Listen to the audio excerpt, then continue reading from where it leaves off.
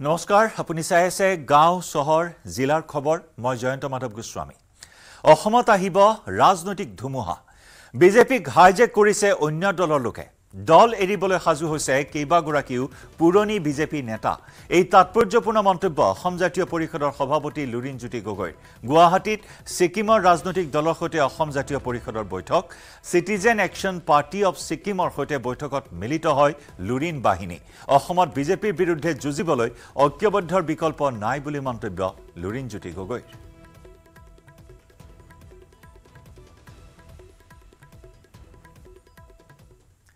ইফালে পুনৰ বিজেপিলৈ দুধনৈৰ প্ৰাক্তন বিধায়ক দীপক ৰাভা। আজি পুনৰ দীপক ৰাভাই পৰিধান কৰিব গেৰুৱা বাসন। দুহেজাৰ ষোল্ল চনত দুধনৈ সমষ্টিৰ বিধায়ক দীপক ৰাভা। দুহেজাৰ একৈছত বিজেপিৰ টিকটৰ পৰা বঞ্চিত হৈছিল আৰু বিজেপিৰ পৰা টিকট বঞ্চিত দীপকে দুহেজাৰ একৈছ চনত নিৰ্দলীয় হিচাপে নিৰ্বাচনত অৱতীৰ্ণ হৈছিল। ইফালে আজি বিজেপিত যোগদান কৰিব এন চি এইচ এ চিৰ পাৰিষদ হিৰজিৎ জিডুঙে চেমখৰ পৰিষদীয় সমষ্টিৰ পৰা নিৰ্দলীয় হিচাপে জয়ী হৈছিল হিৰজিৎ জিডুং বিয়লি তিনি বজাত বাজপেয়ী ভৱনত হ'ব যোগদান কাৰ্যসূচী।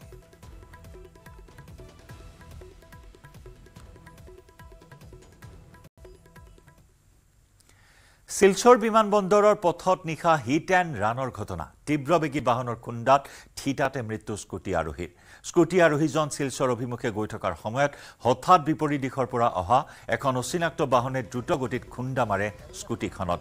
ফলত ঘটনাস্থলীতে মৃত্যু হয় স্কুটি আৰোহী যুৱকজনৰ। এই ঘটনা সংঘটিত কৰি ঘটনাস্থলীৰ পৰা পলায়ন কৰে দ্ৰুতবেগত যোৱা বাহনখনে। মৃত লোকজন শিলচৰ নেশ্যনেল হাইৱে ৰোডৰ বাসিন্দা ৰতন ভৌমিক বুলি চিনাক্ত কৰা হৈছে। প্ৰত্যক্ষদৰ্শীয়ে জনোৱা অনুসৰি ডুমুৰঘাট দলঙৰ সমীপত কুম্ভীৰগ্ৰাম অভিমুখে তীব্ৰ বেগেৰে গৈ থকা এখন বগা ৰঙৰ ছুইফ্ট বাহনে ভৌমিকৰ স্কুটিৰ সৈতে মুখামুখি সংঘৰ্ষত লিপ্ত হয়। ইয়াৰ পিছতে সুযোগ বুজি পলায়ন কৰে বাহনখনে। তাতে যাক জেগাত মানে স্পটেড হৈছে আৰু। স্কুটিত আছিলে সেই হেৰিটো মানুহজনটো। কিন্তু ঘটনা হ'ল আৰু ওচৰত যিবিলাক মানুহে কৈ আছে এই মাইকী মানুহ কেইটামান আছিলে তাতে। সিহঁতে কৈ আছে কি আমাৰ শিলচৰৰ পৰা অহা এটা গাড়ী চুইফ্ট গাড়ী বগা ৰঙৰ চুইফ্ট গাড়ী। সি মানে একা বিকট এটা শব্দ হ'ল আৰু। তাৰপিছতো সিহঁতে দেখা পায় কি এইটো এই আমাৰ কুমৰিগামৰ হেৰিত টুৱাৰ্ডছ কুমৰিগাম তাতে গুচি গৈছে। তাৰপিছত দেখা পায় ইয়াতে এটা স্পটেড মানুহ আৰু এই হেৰিৰ লগত মানে স্কুটিৰ লগত। কলিয়াবোৰত বন্যহস্তীৰ উপদ্ৰৱ। নিশা হলেই বনাঞ্চলৰ পৰা জনাঞ্চললৈ ওলাই আহে বন্যহস্তী। কলিয়াবোৰৰ সোণাৰী গাঁৱত নিশা দুটাকৈ বন্যহস্তীয়ে কামাখ্যা সংৰক্ষিত বনাঞ্চলৰ পৰা জনাঞ্চললৈ ওলাই আহি উপদ্ৰৱৰ সৃষ্টি কৰে। খাদ্যৰ সন্ধানত দুটা বন্যহস্তীয়ে দিন দুপৰতে সোণাৰী আৰু কামাখ্যা গাঁৱৰ পাছফালে থকা বাহনীত অৱস্থান কৰিছে। আৰু নিশা হলেই সোণাৰী কামাখ্যা গাঁৱৰ জনাঞ্চলত প্ৰৱেশ কৰে। আনহাতে আন এটা ছজনীয়া বন্যহস্তী জাকে বিচৰণ কৰিছে কলিয়াবৰ চাহ বাগিচাত। এই জাকটোত আছে তিনিটাকৈ পোৱালি। এই ছজনীয়া জাকটো ব্ৰহ্মপুত্ৰৰ উত্তৰ পাৰৰ পৰা সাঁতুৰি আহি শিলঘাট হৈ চাহ বাগিচাৰে কামাখ্যা সংৰক্ষিত বনাঞ্চলত প্ৰৱেশ কৰে। কাজিৰঙাত বান পৰিস্থিতিৰ বাবে এই হাতীৰ জাকটোৱে শিলঘাটৰ কামাখ্যা সংৰক্ষিত বনাঞ্চলত আশ্ৰয় গ্ৰহণ কৰা বুলি জানিব পৰা হৈছে। ছটা হাতী আছিলে। কাজিৰঙাৰ পৰা বান বানপানীৰ কাৰণে ওলাই গৈছিলে চাগে। যোৱাকালি চুলুঙৰ ফালে আছিলে আজি ফৰেষ্টাৰে লৈ সিহঁতক খেদি লৈ আহিছে একচুৱেলি মানে বনাঞ্চলৰ ফালে। কামাখ্যা সংৰক্ষিত বনাঞ্চলৰ ওচৰত আছিলে এতিয়া। ছটা আছিলে পোৱালিৰ সৈতে। কামাখ্যা সংৰক্ষিত বনাঞ্চলৰ ওচৰে পাঁজৰে দেখা পালোঁ। চিকিৎসকৰ পদত্যাগ সন্দৰ্ভত প্ৰতিক্ৰিয়া প্ৰকাশ মুখ্যমন্ত্ৰী হিমন্ত বিশ্ব শৰ্মাৰ। চিকিৎসকৰ ক্ষেত্ৰত অৱসৰৰ সময়সীমা ষাঠি বছৰৰ পৰা সত্তৰ বছৰলৈ বৃদ্ধি কৰাত প্ৰতি বছৰে কিছুসংখ্যক জ্যেষ্ঠ চিকিৎসকে পদত্যাগ কৰেই বুলি মন্তব্য মুখ্যমন্ত্ৰীৰ দৰাচলতে আমাৰ অসমত এইটো সত্য যে মেডিকেল কলেজৰ পৰা কিছু সংখ্যক ডক্তৰে প্ৰত্যেক বছৰত পদত্যাগ কৰে। দুই চনত মেডিকেল কলেজৰ পৰা ছয়ত্ৰিছজন ডক্তৰে পদত্যাগ কৰিছিল। দুই হাজাৰ বাইছ চনত বাৰজন ডক্তৰে পদত্যাগ কৰিছিল। দুই হাজাৰ তেইছ চনত চৌষষ্ঠিজন ডক্তৰে পদত্যাগ কৰিছিল। আৰু দুই হাজাৰ চৌব্বিছ চনতো পাঁচজন ডক্তৰে পদত্যাগ কৰিছে আৰু কিছু পদত্যাগ পত্ৰ আমাৰ হাতত আছে। অৰ্থাৎ সংখ্যাটো কিমান?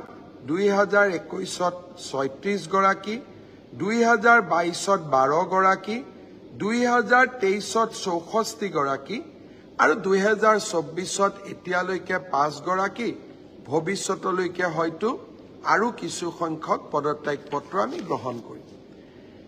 কংগ্ৰেছ দলে ইয়াক লৈ ফূৰ্তি কৰি আছে যে ডক্টৰে পদত্যাগ কৰিছে মেডিকেল কলেজবিলাক এতিয়া বন্ধ হৈ যাব। কেইদিনমান আগতে মই কৈছিলোঁ যে তিনিচুকীয়া মেডিকেল কলেজক নেশ্যনেল মেডিকেল কাউন্সিলে স্বীকৃতি দিলে। অসমত এতিয়া তেৰখন মেডিকেল কলেজ হ'ল। কংগ্ৰেছে বিচাৰে এই মেডিকেল কলেজবোৰ বন্ধ হৈ যাওক। এতিয়া মই আপোনালোকক এটা নতুন তথ্য দিব খুজিছোঁ। দুই হাজাৰ একৈছত পদত্যাগ কৰিলে ছয়ত্ৰিছজনে কিন্তু নতুন ডক্টৰ কিমান এপইণ্টমেণ্ট হ'ল? দুই হাজাৰ একৈছত নতুন ডক্টৰ এপইণ্টমেণ্ট হ'ল দুহেজাৰ ঊনাশী টু হাণ্ড্ৰেড ছেভেণ্টি নাইন তাৰমানে আমাৰ লাভ হ'ল নে লোকচান হ'ল? নেটটো আমাৰ গেইনে হ'ল। দুই হাজাৰ বাইছত বাৰজন ডক্টৰে পদত্যাগ কৰিলে আৰু দুই হাজাৰ বাইছত মেডিকেল কলেজসমূহত চাৰিশ একচল্লিছজন নতুন চিকিৎসকে নতুনকৈ যোগদান কৰিলে। ভাবি চাওক ফ'ৰ হাণ্ড্ৰেড ফৰ্টি ওৱান পদত্যাগ কিমানে কৰিলে? বাৰজন। দুই হাজাৰ তেইছত পদত্যাগ কৰিলে চৌষষ্ঠিজনে। তাৰ বিপৰীতে নতুন ডক্টৰে কিমান নিযুক্তি ল'লে? তিনিশ দুজন। Three hundred two. আৰু এই বছৰ ত্ৰিছ চল্লিছজন ডক্টৰে পদত্যাগ কৰিব তাৰো কাৰণ মই আপোনালোকক ক'ম। তাৰ বিপৰীতে যোগদান কৰিব এশ তিৰাশীজন চিকিৎসকে ডক্টৰে মেডিকেল কলেজত। মইনাবাৰী সমূহীয়া স্বাস্থ্য কেন্দ্ৰত চিকিৎসকৰ দম্ভালি। দিনৰ এঘাৰ বজালৈকে স্বাস্থ্য কেন্দ্ৰত উপস্থিত হোৱা নাছিল চিকিৎসক নগেন দিহিঙীয়াই। পুৱাৰে পৰা চিকিৎসালয়ত ভিৰ কৰি আছিল বহু সংখ্যক ৰোগী আৰু অভিভাৱক। এঘাৰ বজালৈকে উপস্থিত নোহোৱা চিকিৎসকৰ বাতৰি সংগ্ৰহৰ সময়তে মোবাইল কাঢ়ি নিলে এজন সাংবাদিকৰ। বাতৰি সংগ্ৰহ কৰি একো কৰিব নোৱাৰে বুলি প্ৰকাশ কৰি মুখ্যমন্ত্ৰীৰ নিৰ্দেশকো কেৰেপ নকৰে বুলি দম্ভালি মাৰিলে চিকিৎসক নগেন দিহিঙীয়াই।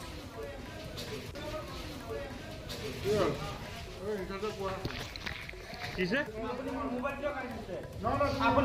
কিয় কাঢ়ি নিছে না না আপুনি মোৰ মোবাইল কিয় কাঢ়ি নিছে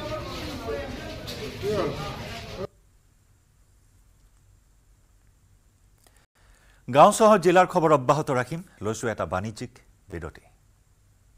থান ষ্টিল নহয়। অ ওচৰ চুবুৰীয়াসকলে লগাইছে। ষ্ট্ৰং মানে? মাইথেন ষ্টিল।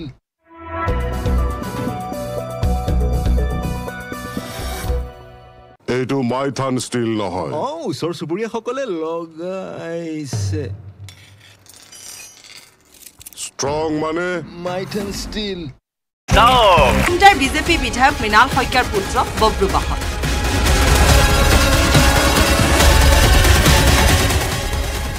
অসম জাতীয় পৰিষদৰ সভাপতি লুৰিণজ্যোতি গগৈ আৰু দলৰ সাধাৰণ সম্পাদক জগদীশ মিয়াৰ সৈতে একেলগে বৈঠকত বহিল বব্ৰু বাহন। পিছে। বিজেপি বিধায়কৰ পুত্ৰৰ এনে সাক্ষাৎ কোনো ৰাজনৈতিক উদ্দেশ্যত নহয় বুলি দাবী অসম জাতীয় পৰিষদৰ সভাপতি লুৰিণজ্যোতি গগৈ। তাতে চাহ খালোঁ আৰু তাত পাওঁতে উঠা ফটো তাৰ লগত কোনো ৰাজনৈতিক সম্পৰ্ক নাই। গতিকে মই নিজেও পষ্ট কৰিছোঁ। এটা ভিডিঅ' পষ্ট কৰিছোঁ। কৰি এই কথা কৈছোঁ যে নতুন প্ৰজন্মৰ যিবোৰ ডেকা ল'ৰা আছে তেওঁলোকৰ মাজত সৃষ্টিশীলতা আছে সমাজ চেতনা আছে এইটো খুব যোগাত্মক আৰু সেইটো থাকিব লাগে। যদিও বব্ৰু বাহনৰ সাক্ষাৎ ৰাজনৈতিক নহয় তথাপি কিন্তু বিজেপিৰ বহু কেইগৰাকী নেতাৰ যোগাযোগ চলি থকাৰ কথা স্বীকাৰ লুৰিণজ্যোতি গগৈ। পুৰণা বিজেপিসকলৰ তেতিয়া স্থান তাত নাই গতিকে নিশ্চিতভাৱে এনেকুৱা ধৰণৰ কথা বতৰা চলি আছে। বিজেপিত পুৰণি নেতাৰ স্থান নাই। ন বিজেপিয়ে হাইজেক কৰিছে বিজেপি। সেয়েহে স্থান আৰু মান বিচাৰি জাতীয় পৰিষদৰ সৈতে যোগাযোগ কৰিছে বহু কেইগৰাকী বিজেপি নেতাই। বিজেপি দলত আৰম্ভ হোৱা এনে ভাঙোনে? ছাব্বিছৰ পূৰ্বে অসমৰ ৰাজনৈতিক ক্ষেত্ৰত ধুমুহা আনিব। যি ধুমুহাত সলনি হ'ব ৰাজ্যৰ ৰাজনৈতিক প্ৰেক্ষাপট। তচনচ হ'ব শাসকীয় দল বিজেপিৰ ভেটি এই দাবী লুৰিণজ্যোতি গগৈ। বিজেপি দলত আৰম্ভ হোৱা এনে দুৰৱস্থাক লৈ পিছে উভত গুৰে নাছিলে নহ'ব কংগ্ৰেছ। বিৰোধী ঐক্যৰ মূল দল কংগ্ৰেছক সাৱধান বাণী লুৰিণজ্যোতি গগৈ এতিয়া প্ৰশ্ন হৈছে ন বিজেপিৰ আগ্ৰাসনত নৌ ৱেৰ হোৱা মৃণাল শইকীয়াৰ পুত্ৰক জাতীয় পৰিষদৰ পৰা বিধায়ক কৰি অনাৰ আশা নেকি? যাৰ বাবে নিজে বিজেপিত টিকট নোপোৱাটো এক প্ৰকাৰ নিশ্চিত হোৱাৰ পিছত এতিয়া পুত্ৰক যোগদান কৰিব বিচাৰিছে জাতীয় পৰিষদত। পিছে মৃণাল শইকীয়াৰ পুত্ৰ বব্ৰু বাহনৰ ৰাজনৈতিক যাত্ৰা কিমান সফল হয় সেয়া লক্ষণীয়। Balen Bhattacharya report News Eighteen Assam North East.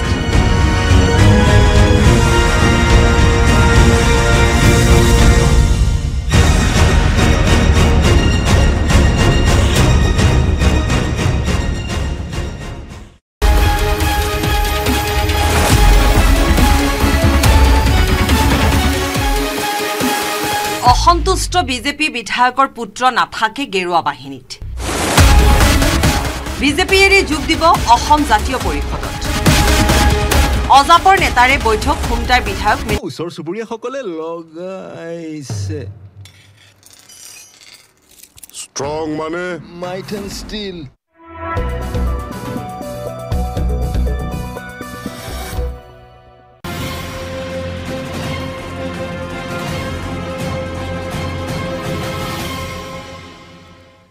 Tamulpur জিলাৰ বালাবাৰীৰ এটা পথ কৃত্ৰিম বানে ছিঙি লৈ গৈছে এই পথছোৱা আৰু যাৰ ফলত ব্যাহত হৈ পৰিছে যাতায়াত ব্যৱস্থা।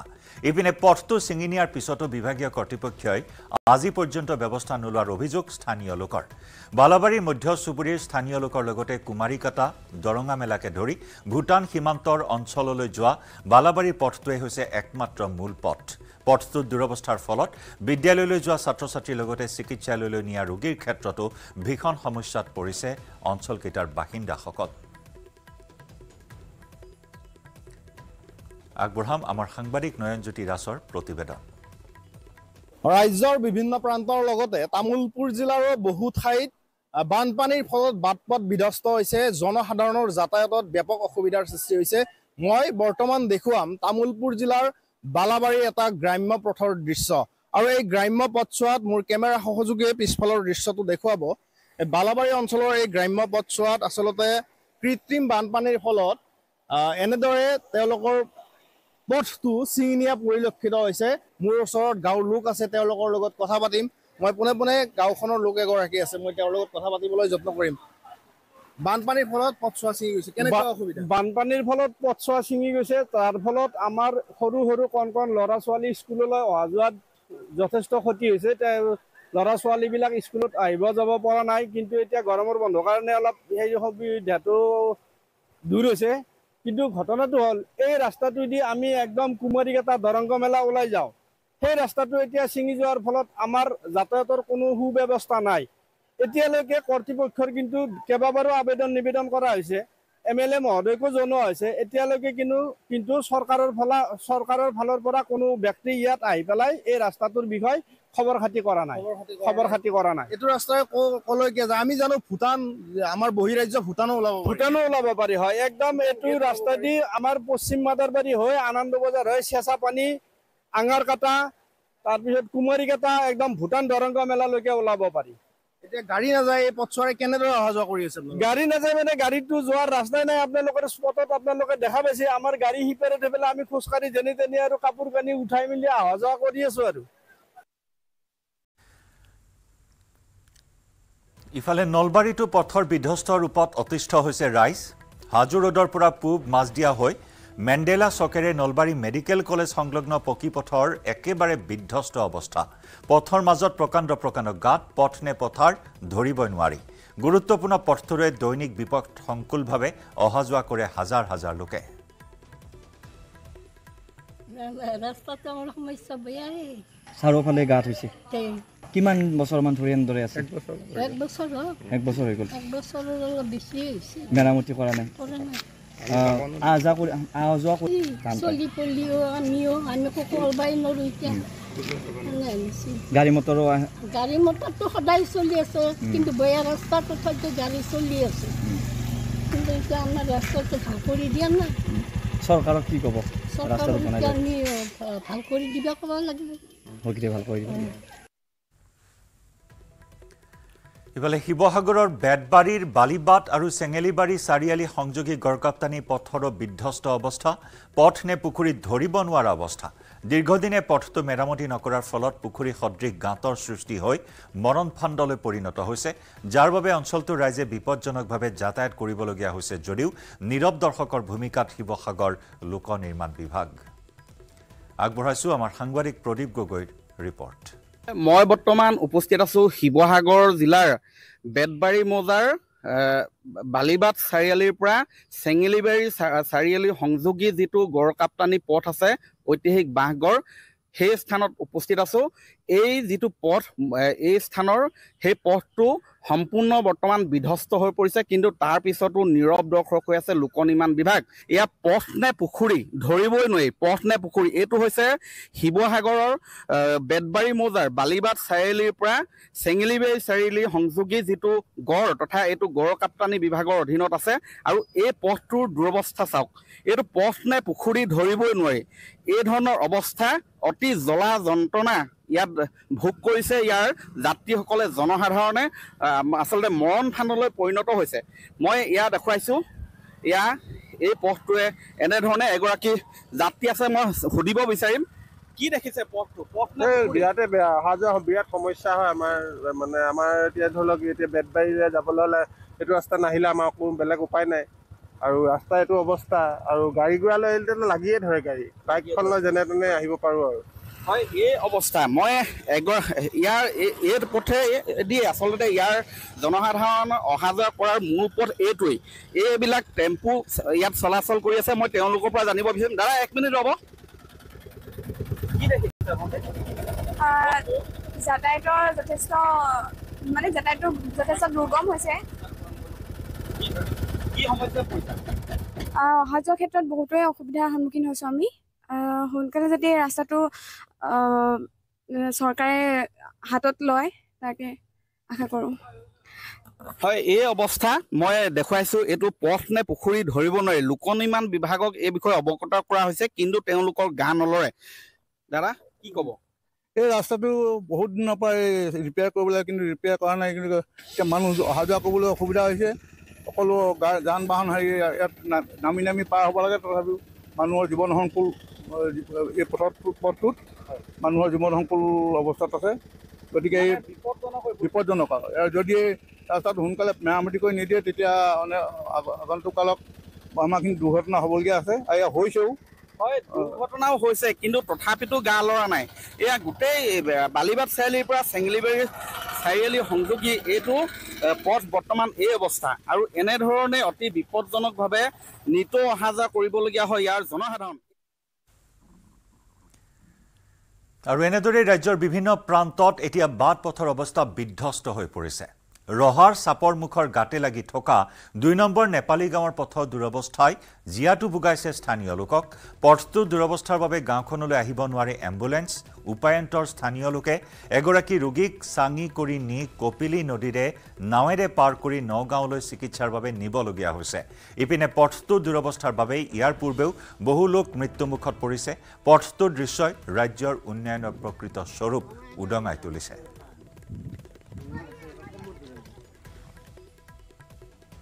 মাগুৰগাঁও গাঁও পঞ্চায়তৰ এয়া ৰাস্তা। ৰাস্তাৰ কাৰণত আমি পেচেণ্ট লৈ এনেকৈ অহা যোৱা কৰিবলগীয়া হৈছে।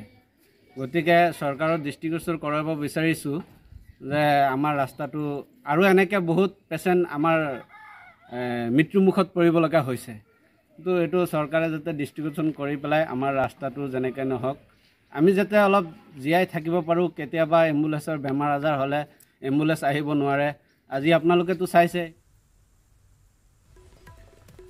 গহপুৰৰ বিভিন্ন প্ৰান্তত আজিও যাতায়াত কৰাত দুৰ্ভোগ ভুগি আহিছে গাঁওবাসীয়ে। কমলা পথাৰ ভেৰভেৰী সংযোগী অঞ্চলটিৰ ভগ্ন কাঠৰ দলঙে দুৰ্ভোগ ভোগাইছে প্ৰায় দহখনৰো অধিক গাঁৱৰ ৰাইজক। দীৰ্ঘদিনে জৰাজীৰ্ণ দলঙেৰে যাতায়াত কৰিবলগীয়া হৈছে স্থানীয় লোকে। বিভাগীয় কৰ্তৃপক্ষক স্থানীয় লোকে দলংখন নিৰ্মাণ কৰি দিবলৈ বহুবাৰ আহ্বান জনাইছে যদিও গুৰুত্ব নিদিয়াৰ অভিযোগ উত্থাপন হৈছে। ফলত যমৰ যাতনা ভুগিবলগীয়া হৈছে স্থানীয় লোকে। উন্নয়নে নাই গহপুৰৰ কমলাপথাৰ অঞ্চল। এই কমলাপথাৰ অঞ্চলত প্ৰায় দহখনৰো অধিক গাঁও আছে। সকলো গাঁৱৰে এটাই সমস্যা যাতায়াতত সমস্যা।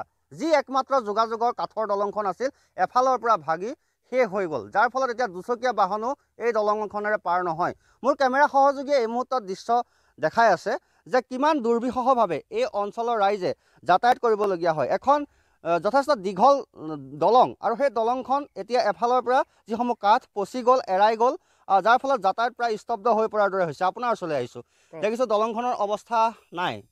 কেনেকৈ অহা যোৱা কৰে আপোনালোক?